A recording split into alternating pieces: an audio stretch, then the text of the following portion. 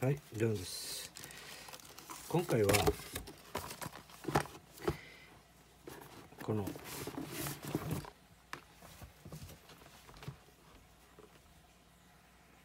クーラーマスター、P、自作 PC ケースファンマスターファン MF120 ハローの解説やっていきたいと思います。はい、頑張るぞ。これはあの先日紹介した FireHD8 プラスと一緒に同梱で発送されました。あの自分自作 PC はね過去に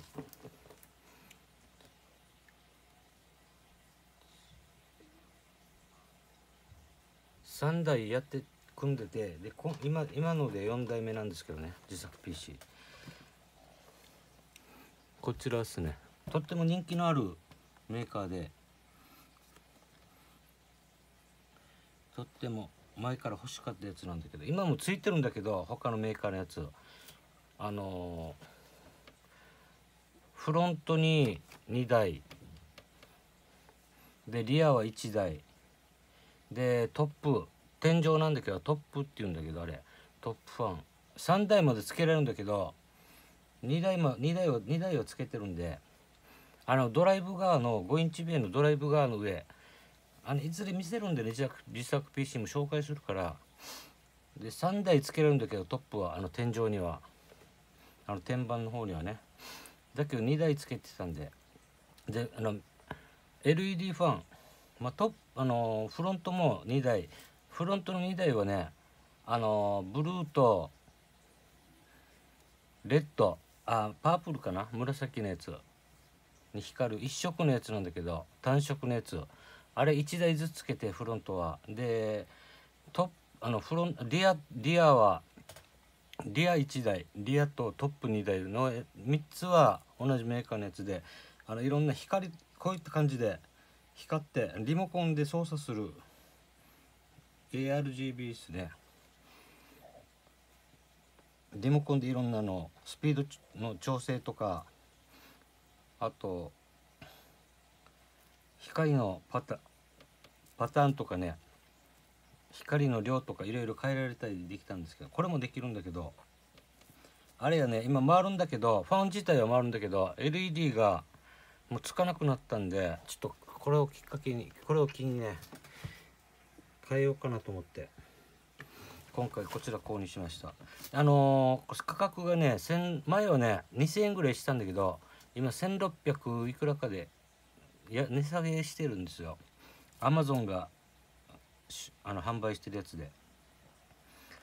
であと2台もねこれ3台のやつもあるんだけど3台とコントローラーセットのやつがあるんだけどあれの方がちょっと安くなるんだけど5000ちょっとで買えるんだけどあれも品切れであの他の出品者が売ってるやつもあるんだけどちょっと高いんでアマゾンが販売してるやつは在庫切れでいつ入荷するかっていうのがわからないからもうあのこれこういった単品でね購入したんだけどであとの2台も追加で別で注文してであとなんていうのかな。3つに分けられるやつがあるんですよ。あれも一緒に注文したんであれ今週末ぐらいにか多分配達こちらに届くんじゃないかな。あれもまた来たら紹介するからでこれも実際に取り付けて今回できたらあの取り付けの状況とか接続状況とあとそれ取り付け後のあの起動してこのファンの回転とかあと LED の光具合とかいろいろパターン変えられたりするんでそれも見せようかなと思って。ちょっとすいませんね、ま、あの前置きがなくなって。これね 120mm12 センチファンですね。120mm ファン with デュオリングアドレスシアドレッサブルっていうのかな？RGB ライティング。あこれテープで止められてるね。ちょっと。あここは外れつってるんだけど。ここはちょっとあこうやって外れるんだ引っ張ったら。これちょっとこれいいかもうそのままもう開けるんで、まあ、こういった穴になってるんだね。こういう感じでじゃじゃーんこんな感じですね。結構重量感あるな。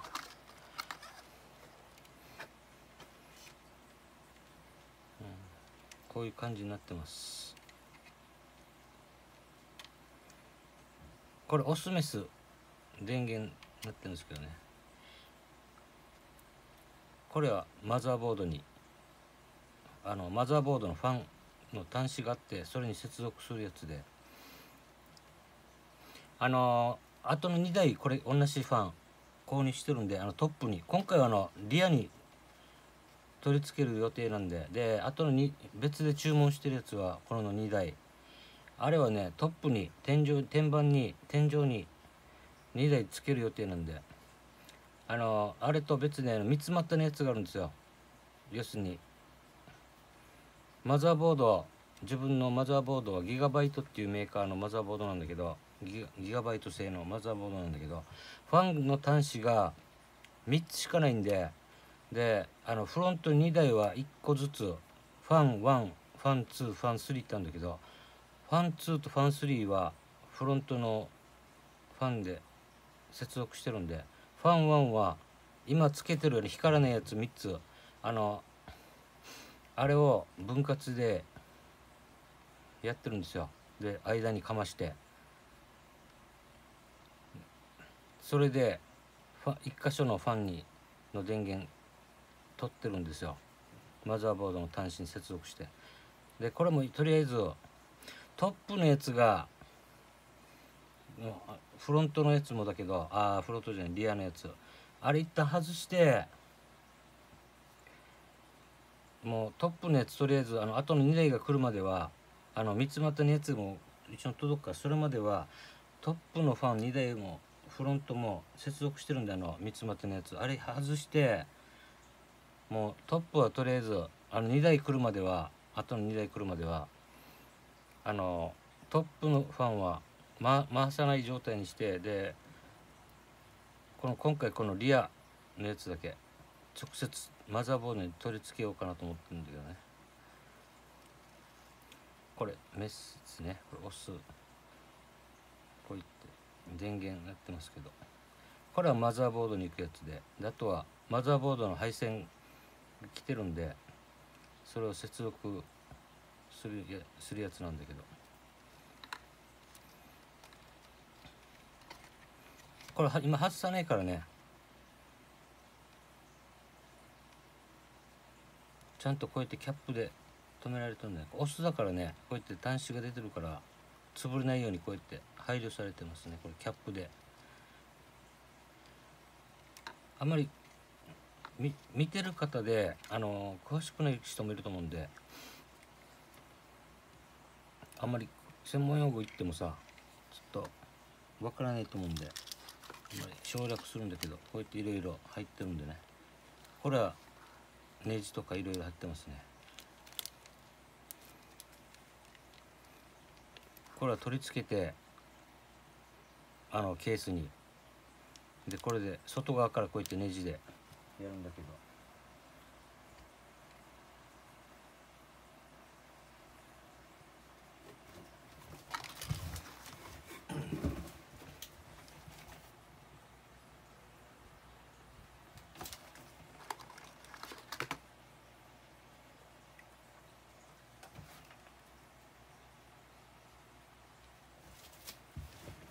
あのー、向きがあるんですよ。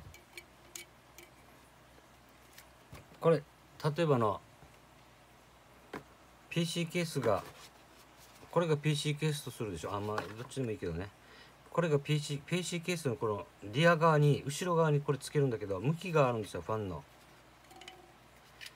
あのフロントについてるやつはあの外側の空気を吸う役割なんですよ。吸ってでトップあのリアこれリアなんだけどリアにつけるリア側につけるやつなんでリア側は吸ったやつをエアフローなんだけど空気の流れ。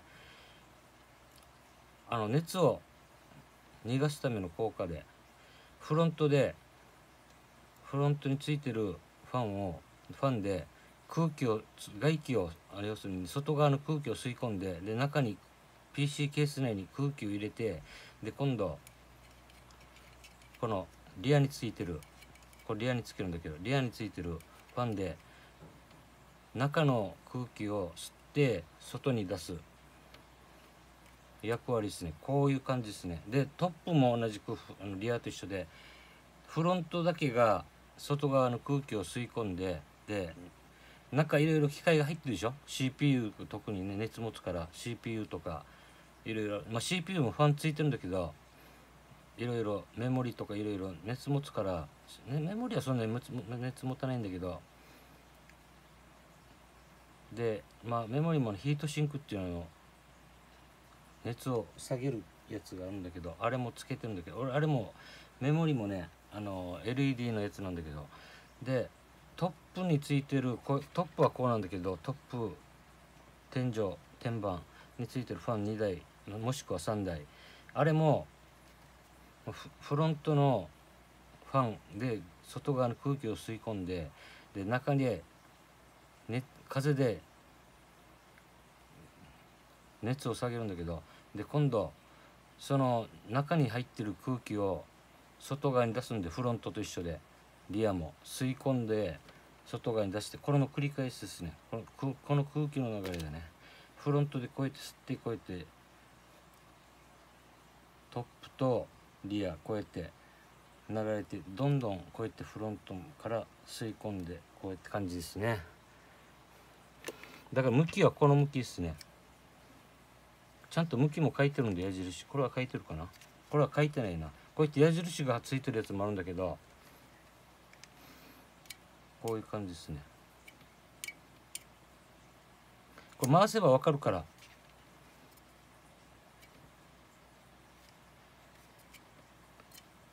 これ回してね。あのー、こうやって回して風が来たらあ外側だって分かるからさ。この向きっすね。あの配線はここがいいっすね。こことかあったら遠くなるからここがあの PC ケースの裏が裏配線するから俺。見えないように。表で配線してもいいんだけど表で配線したらぐちゃぐちゃで見た目も悪いからあと絡まったりとかするとまずいからね。ここここ上にやってここでもいいんだけどね。こうやって。でここの方がいいかな。ここの方がいいかな。こここの配線のここをこの向きでやった方がいいかもしれんな。まあどこでもいいんだけど長いから結結構ね結構長長いから中でもあのこうやって束ねたりするから別にここでもいいと思うんだけどここでも別に問題ないんだけどね。ここがでもこういう感じで。何分になるんだ？13分。久しぶりに組むからあ PC ケース変えるのは2年ぶりぐらいですかね。LED がつかないからね。こういった説明書きも載ってるんだよな。ARGB 一応はこういった説明書あこれやらなくてもいいな。1枚こうなってるんで。接続つなぎたりできるんですよ。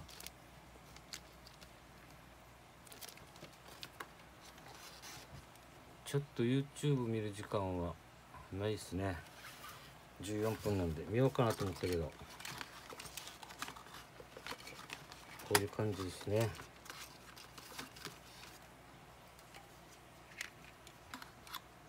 これいい商品なんで。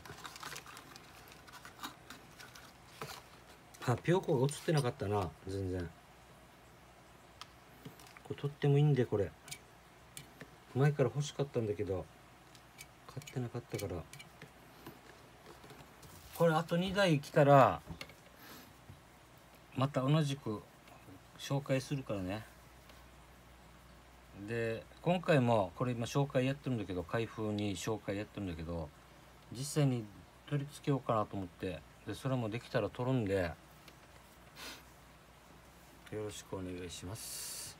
はい以上にしたいと思います。今回はねクーラーマスターファン。今回はね自作 PC ケース用ファン。